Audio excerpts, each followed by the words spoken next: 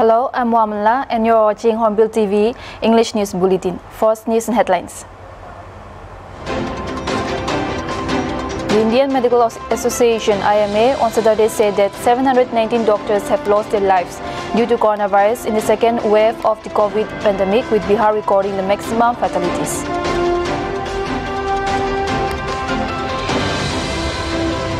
The Ministry of Health and Family Welfare on Saturday rubbished the claims of so-called miscreants of hacking the CoWIN system and data leak.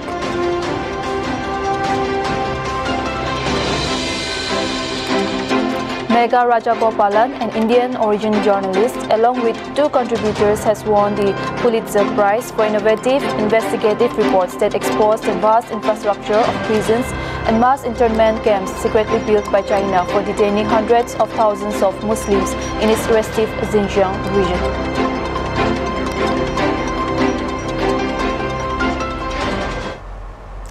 News in details, Nagaland-based entrepreneur and investor Yanren Kikon has released a book, Finding Hope, Principles of a Successful Race, a book that narrates the stories and deeply personal experiences of some of the most well-known personalities from the Naga community who found success after facing abject adversity also the man behind some of the biggest musical artistry events in the recent times in the state, officially released the book on March 5, 2021 online. It is now available for Nagaland readers too. Reverend Dr. P. Dozo dedicated the book with a prayer. The book tells the story of several eminent Naga personalities who experienced hardship and struggled in their lives before finding success to become inspiration for others. They include former drug addict to Governor's Award winning illustrator Sandebo Nguli, to fashion designer Bambi Kevichusa, from rock musician Moa Subong, to the Konyak Naga's first military officer Tongkong Konyak, from missionary Reverend Dr. Puveyi Dozo, Dunaga musical legend Methaneilie Jutakhrie. The book is available on Amazon, Flipkart, and Golpapa. The book is published by 24 by 7 publishing house based in Kolkata. Besides being an entrepreneur, Yanren Kikon is certified financial analyst and a classically trained musician. He is also the director of financial management services Stratton Financial Services, besides being CEO of Sky Entertainment, a group which has brought in internationally acclaimed musicians to India, not to mention a successful Guinness World Record for Nagaland. Delhi police has reportedly apprehended two CS, a Tibetan woman and eight others in connection with the rupees 150 crore financial scam run by China-based entities and defrauded over 5 lakh Indians, Times of India reported. Quick earning apps like EasyPlan and Powerbank were used to lure customers to invest using these malicious apps. Over 150 crore were siphoned off in two months through a network of 110 shell companies, Police Commissioner S.N. Srivastava told the publication. Reportedly, these applications offered lucrative returns on the investment amount, promising to double the money in 24 to 35 days. The apps offered investment options starting from rupees 300 to lakhs of rupees and promised returns on an hourly and daily basis. Powerbank app was recently trending at number 4 on Google, the report added. DCP Anyesh Roy said that the cybercrime cell had noticed various posts on social media about the above mentioned two apps.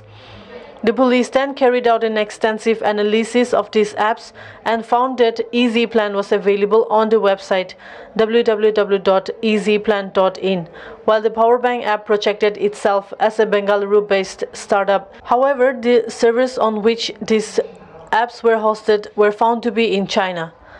The apps also stole sensitive data from people's devices by receiving several permissions including access to camera, read contact details, and read and write to external storage. A large number of such apps have been circulated by the fraudsters, including Powerbank, EasyCoin, Sun Factory, Lightning Power Bank, etc. Some of these fraudulent malicious apps were also listed on Google Play Store, said a senior officer. The apps were promoted through YouTube channels, Telegram, and WhatsApp bulk messages. A PIL has been filed in the Supreme Court seeking directions to the central and state governments for appropriate steps to seize 100% Benami properties and disproportionate assets and invoke the National Security Act against the criminals directly or indirectly involved in human trafficking and smuggling. The PIL also sought direction to the Center to examine international laws relating to trafficking and smuggling and take appropriate steps to insert a special chapter on these offences in the Indian Penal Code. The petition filed by Advocate Ashwini Kumar Upadhyay further asked to direct the Law Commission of India to prepare a report on human trafficking and smuggling within three months. It added that human trafficking is a serious crime and a grave violation of human rights and sexual exploitation of children is worse than any other offense. However, it stated, due to the weak, outdated, ineffective laws and deep-rooted corruption, human trafficking is continuing, not only for sexual exploitation, bonded labor, begging and drug peddling and smuggling, not only women and children but also men and transgender are subject to human trafficking, it added. The plea also said that Section 31 of the Code of Criminal procedure shall not apply to the penal provisions relating to human trafficking and smuggling, and sentence for committing such crime shall be consecutive, not concurrent. The central government will provide more than 10 lakh vaccine doses to states and union territories in the next three days, informed the Ministry of Health and Family Welfare on Saturday. Lakh 81,300 vaccine doses are in the pipeline and will be received by the states and union territories within the next three days, the ministry said. The Health Ministry said 25 crore 87 lakh 41,810 crore vaccine doses have been provided to states and union territories so far through the Government of India free of cost channel and through direct state procurement category. Of this, the total consumption including vestiges is 24 crore 76 lakh 58,855 doses as per data available at 8 am today, it said.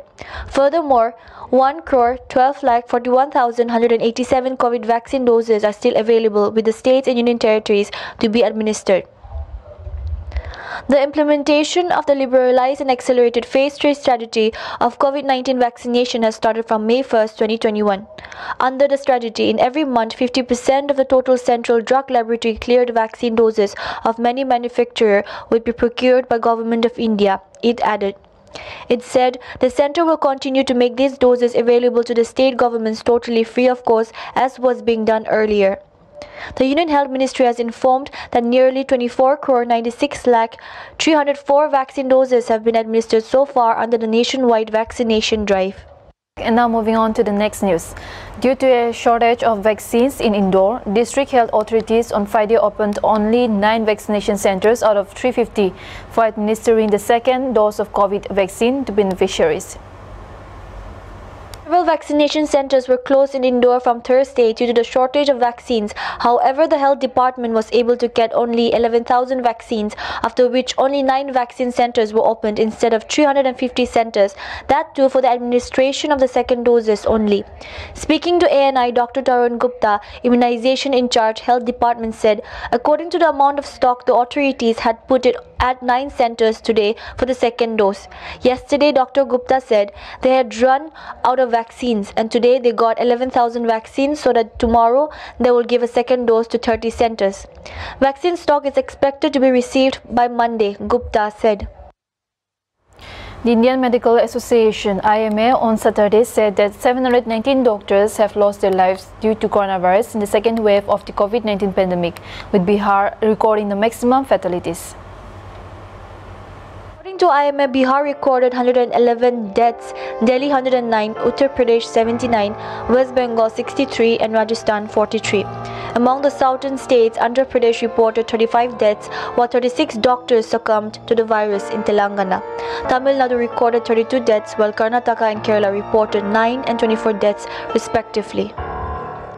The Jammu and Kashmir administration has suspended as many as 12 block development officers, BDOs, of the Rural Development Department in Baramulla and Anantnag for unauthorized withdrawal of funds in excess from the EFMS account in 13 blocks of the two districts. Suspended officers include eight junior KS officers and two assistant development officers of Baramulla and Anantnag district. According to separate orders issued by Bitul Patak, Principal Secretary to Government, Department of Rural Development, an amount of rupees 9 lakh was withdrawn from common account in an unauthorized manner in pursuit of NREGASoft on May 24th this year and so far rupees 15 lakh has been withdrawn by district Anantnag. Similarly, District Baramulla has withdrawn rupees 1.91 crore from common account of MGNREGA in pursuit of NREGASoft on April 8 this year amounting to a total of rupees 2.04 crore of withdrawals so far. As per the order, ACDs of Baramulla and Anantnag were asked to reply within two days. However, a response related to the matter has not been received till date. The Director of Rural Development Kashmir has been asked to make arrangements for suitable alternatives who will look after the charge of the various blocks of the two districts. The Ministry of Health and Family Welfare on Saturday rubbished the claims of so-called miscreants of hacking the CoWIN system and data leak. The ministry said the matters of the alleged hacking of the CoWIN system has now been investigated by the Computer Emergency Response Team of the Ministry of Electronics and Information Technology. Dr. R.S. Sharma, chairman of the Empowered Group of Vaccine Administration, has clarified that the claims of so-called hackers on the dark web relating to alleged hacking of the CoWIN system and data leak is baseless. Dr. R.S. Sharma further said that the authorities continue to take appropriate steps as are necessary for time to time to ensure that the data of the people are safe with CoWIN. Telangana Chief Minister K. Chandrasekhar Rao on Friday informed that the state government had bought in new Panchayat Raj and Municipality Acts under which rupees 339 crore will be given to the villages and rupees 148 crore will be given to the municipalities development every month. The CM said the state government had brought in new Panchayat Raj and Municipality Acts and extending support to the rural and urban areas in a big way, which is not done anywhere in the country. The government, while extending the financial assistance to villages and municipalities, had also filled all vacancies, a statement issued by the Chief Minister's office read. Every month, rupees 339 crore is given to the villages and rupees 148 crore to municipalities, development, news updates, etc. He said that Palle and Pattana Pragathi programs have yielded good results. He said it should be known why employees in Panchayat Raj and municipalities are failing in the discharge of their duties. He said if he finds during his visits that there is laxity on part of the employees, he would not spare them. Rao on Friday chaired a high-level review meeting on Palle and Pattana Pragathi programs and declared that he would personally make surprise visits from June 19 to assess the progress of Palle and Pattana Pragathi programs and how Panchayat Raj and municipal officers are functioning all over the state.